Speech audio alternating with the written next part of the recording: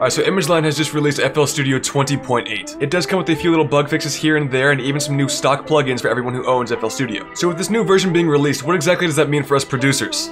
Go and find out. Alright, so I'm at imageline.com and I'm to be reading off a few of the key features here. I'm not to be going through every single one of them individually. I may just try and find some of the more important ones like the plugins and some of the really big quality of life improvements, but other than that, I'm going through here and skimming through all the patch notes. Alright, so right off the bat, we've got the main thing that I was excited about for this update. It's going to be the frequency splitter, but we would go into this a little bit later on in the video with how it would actually work with your production. This is a new stock plugin inside of FL Studio. Split and process audio into two or three bands using linear phase or low latency filters from minus 6 dB to 96 dB octave. Wow, that's a lot of dB. We're gonna see exactly what that means once we dive into that a little bit later. Oh, okay, here, and then, and then here's an instrument tuner. So I'm not exactly sure what this is quite yet, but it sounds like it might be a way to really get the key of your sample, but We'll go through that a little bit later too, I guess. Alright, so it looks right here there's going to be a small update for the Fruity Parametric EQ2, which is already inside of FL Studio. It's been in there for a while now. There's a new frequency histogram display with linear phase mode with artifact-free high slew rate modulation capability. Band mute switches, solo bands, improved finite impulse response,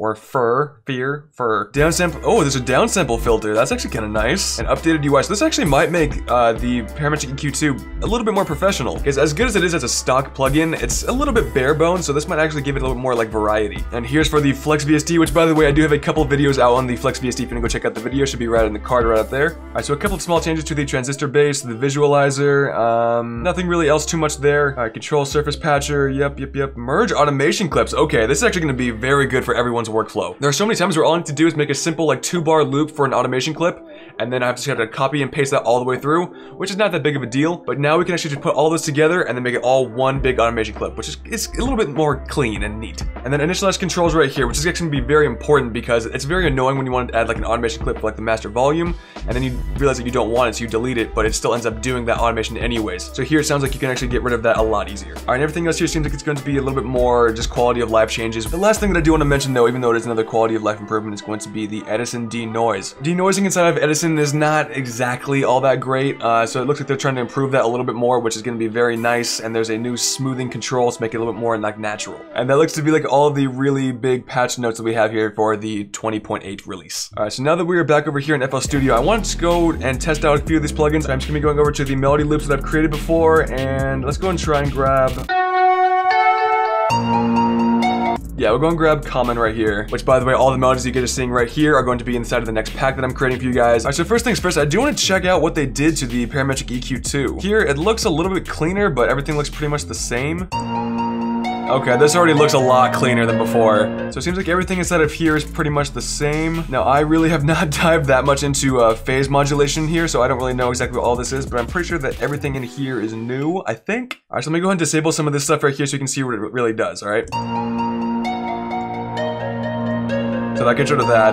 That's how it was before. That's all that we had before. But now this histogram, I think, is going to help out a lot. And then here, getting rid of the old way and having just the histogram going on. Which I really do think that the uh, the heat map kind of lets you like show like where things are peaking. Like here, it's a lot of uh, information right here. So I think having both would actually be pretty beneficial. All right, I'm gonna go see this tuner over here. Okay, so yeah, it basically just checks to see, this is actually so cool. So I already have another plugin for this uh, by the same guys that make the auto tune. It's called AutoKey that does this exact same thing to where it'll listen to your sample and then it will give you sort of key and uh, I think that's it. Yeah, just the key. That way you have a little bit of a better idea of what your sample is going to be in. And here it says it's going to be an A sharp, which it you can see right here is instead of A sharp. So I think so far it's doing pretty well. That is going to be really helpful though for a lot of people that really don't have an ear for finding a tune of a sample, which I honestly am not the best at. All right, and finally the moment that I have at least been waiting for this whole time, and that's going to be checking out this frequency splitter right here. Once again, I'm, I'm not really too familiar about uh, linear phasing, um, but I'm sure that you guys can tell me exactly what that is in the comments down below. Here we've got some presets. Let's see what this stuff does. They're cut out quite a bit of the low end, but it still sounds pretty natural.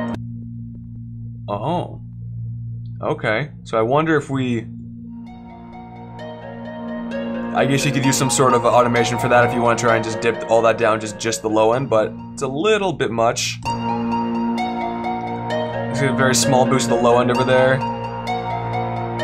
A mastering curve, that's pretty neat. Go back to default and see if we can't do anything here for ourselves. So here it's two bands and then three bands. Very easy to, to do over there. Oh, that's a lot easier. This kind of reminds me of something that Maximus does, actually. I so now that we've gone through all of that, the really cool thing I was really looking forward to is going to be these right here. So all these mixture channels I have set to automatically go all the way to my send routes over here. So if I put this on to number two, three, and four, here is my sample right there. And then it's only gonna be playing the frequencies that we have inside of here. That's really cool. So here, I think it's gonna be really cool for uh, certain different things, like if you wanted to add some distortion to just your low end, right? Let's go and try doing that. Make it sound a little bit more full.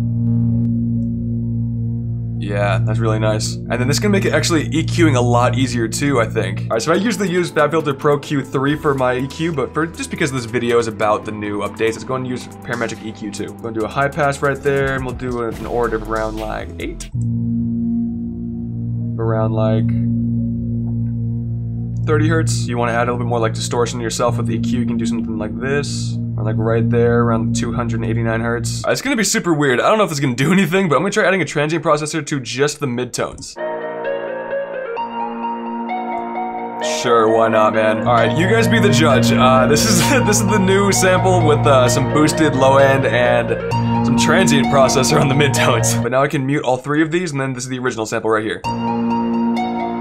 I just think that the new version sounds way more full. I know all of my melody loops will always include these stems and the MIDI, but let's go and say, for example, that you have a sample that has some bass in it, but you want to add some reverb. Now, you shouldn't add reverb to bass, but what you can do with this new method is going to be just using these two right here. Like, say, for example, the, uh, let's go to the midtones. We can, we can add a little bit more Pro R. Right, okay, and then add some delay for some reason to the, the high end. It actually does sound pretty good. That sounds pretty nice. Oh yeah, so here is everything that we have done uh, to this new sample just by using a couple of the new plugins.